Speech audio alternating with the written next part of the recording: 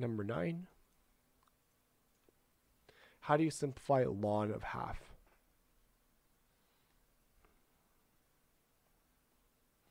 I want to simplify ln of 1 over 2. Okay, so this here, again, ln here is our natural logarithm, right? No, ln here is our natural logarithm. Logarithm.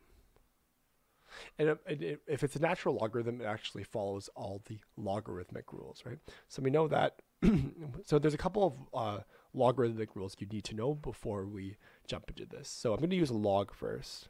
And it's not ln, but I'll use log first. So if I have log of x, xy here, it's going to equal the log of x plus the log of y.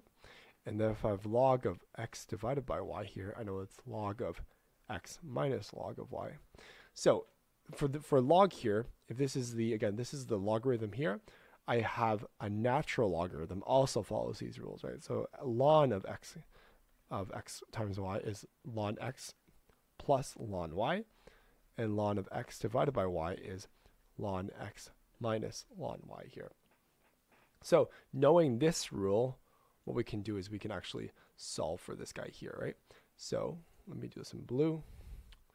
So if ln of 1 over 2 is going to equal ln of x here, which is simply the ln of 1 minus the ln of y here, which is ln of 2, right?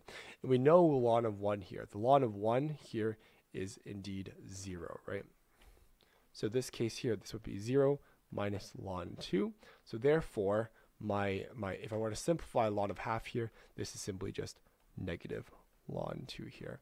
And this here is our solution for this problem here.